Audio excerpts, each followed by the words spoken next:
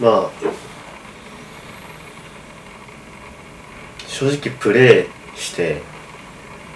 選手として活躍するっていうのは当たり前っちゃ当たり前の話でまあその選手のストーリーを見てもらうでファンにななってもらうっていうのが元気さんとはすごい話してて。怪我したこともそうだしまあ僕だったら女装だったんですけどそれでこの選手どういう人なんだろうって知ってもらってどんどん自分のブランドを作っていくっていういこうっていうのは話してました。そのプレーでっていうのは考えてましたけど自分が他の選手とは違ったような魅力をプレーで出してそれでファンになってもらうっていうのはもうまあ思ってたんですけど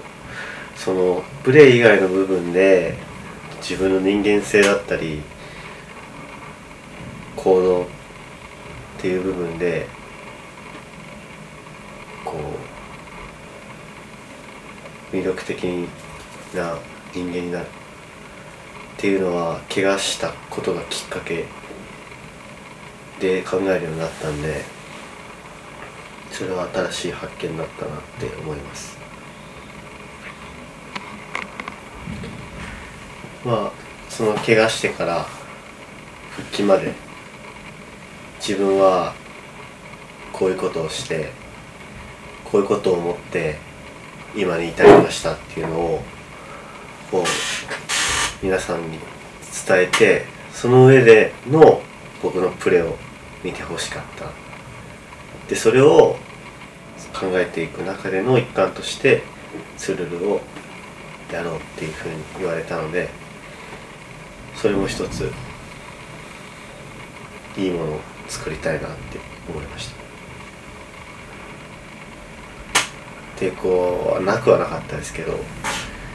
まあ自分が本当どんだけ可愛くなれるかとか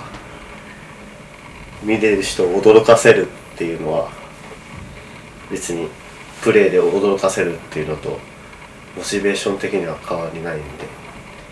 いかに本当に女の子になれるかっていうのをもうそこから考えました。19の試合までにいいコンディションになれるようにっていうのを組んでたんでもう本当にずっと準備はしてましたしホームでみんなの前で復帰して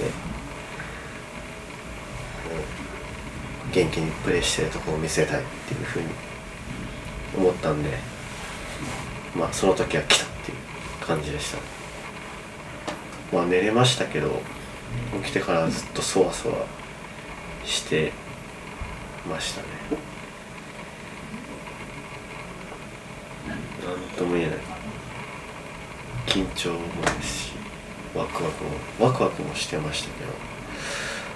でも F リーグの本当初めての開幕よりも緊張してたかもしれないです。もう結構足もガクガクして走れるかなぐらいの感じだったんですけど入ってすぐもう楽しかったし点取りたいし見てる人わって言わせたいって思ってプレーしました。えっと怪我をしてから今まで、えー、皆さんの